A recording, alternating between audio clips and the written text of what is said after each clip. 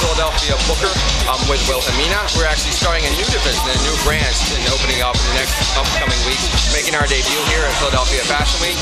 So like I said, in about two, three weeks, we're on a grand opening for Philadelphia branch of Wilhelmina. We have about 30 models here right now from uh, PA and New York City and Harrisburg, all throughout the area.